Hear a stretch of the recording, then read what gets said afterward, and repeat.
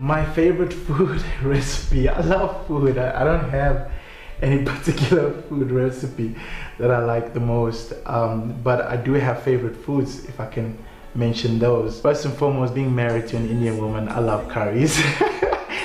and, and being a Durban boy, I love curries.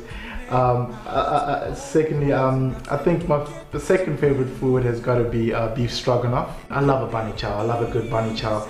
I love chilling with my friends and uh, and, and, and and we just hanging around and put the bunny chow right on top of the bonnet in the car. You know, just chilling out. I'm, I'm an ordinary guy. I'm not the kind of guy who likes to chill out at a restaurant. I, I like the simple things in life. So that's me.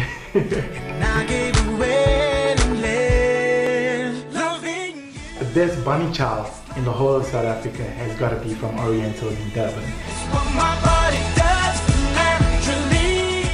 The first cell phone I ever owned, jeez. Um, it must have been that Ericsson, the big one, that looked like a brick. Um, geez, that, that phone was quite heavy. I think you could hurt somebody with that phone.